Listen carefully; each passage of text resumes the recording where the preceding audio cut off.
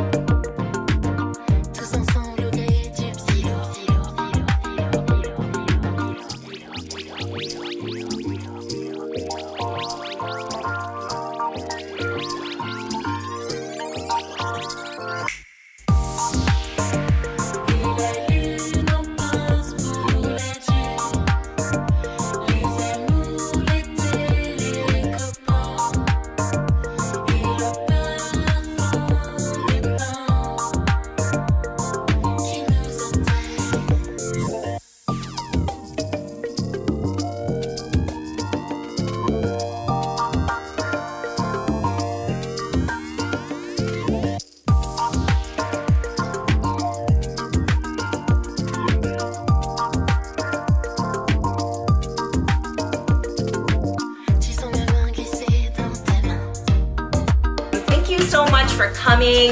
Um, we're bringing multiple different families together, so it's really special. Wesley and I have only been in LA for three months now, and so having you all here for Thanksgiving is really important to us. Like each person here has enriched our life in some way, and I think that you can say the same thing about uh, the people, the other people here.